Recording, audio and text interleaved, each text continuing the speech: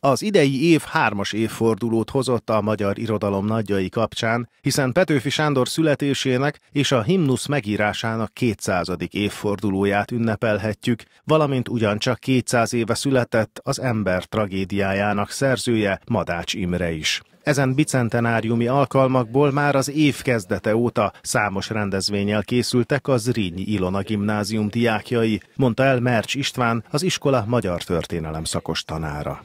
Szerveztünk kvízversenyt a himnusz születésére, még januárban, aztán volt egy alapítványi bálunk, amely a reformkorra és a Petőfi bicentenáriumra volt fölfűzve, egy nyitott könyv nevezetű évente megrendezett olvasási versenyt is bonyolítunk, aminek egyébként a jövő héten hétfőn lesz a pont a döntőfordulója, és ebben is természetesen Petőfi életművéről esik szó. Ez első körben Petőfi elbeszélő költészetével, az apostol, a helység kalapácsa állt a középpontban a versenyben, most pedig ezt mi kiegészítettük a bolondistókkal, illetve Petőfi legismertebb költeményeivel.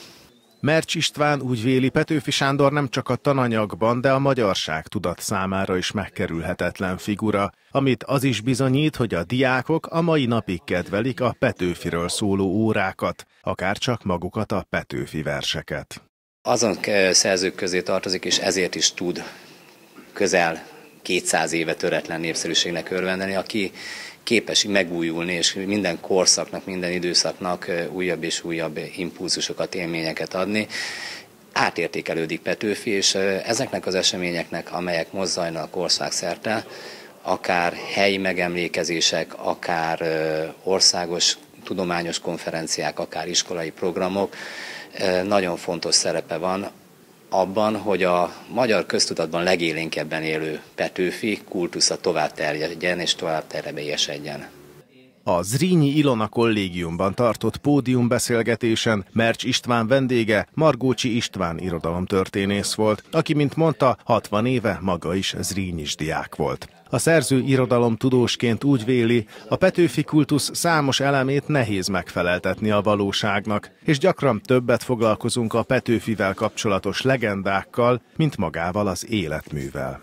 Petőfi halála óta eltelt 170 év alatt olyan tömegű mese, pletyka, legenda alakult ki, hogy rendkívül nehéz eljutni egy olyan Petőfi képhez, ami többé-kevésbé hasonlíthat a soha rendesen meg nem is élhető valósághoz.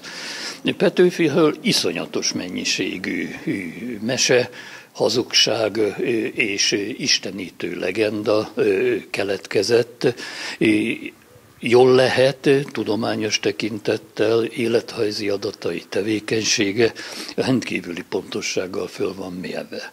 Ugyanakkor borzasztó érdekes, hogy Petőfi istenítése olyan fokot ért el, hogy a mesebeli képzeteknek a hívői egyszerűen nem törődnek azzal, hogy mit mondanak a tudományos tények, vagy mit mondanak a tudományos kutatók, mert majd, hogy nem azt mondom, hogy vallási hit alapján osztályozódik a Petőfihez való viszony is. A rendezvény közönsége egyebek mellett azt is megtudhatta, hogy Margócsi István a legutóbbi könyvében azt kutatta, a múltban hányféle Petőfi kép hagyományozódott át az utókorra, valamint azt, hogy a Petőfi kultusz mesebeli elemei miként állják ki a tudományos kutatások próbáját. A kutatóval készített hosszabb interjúnkat a Petőfi legendákkal kapcsolatban a Weekend című műsorunkban láthatják.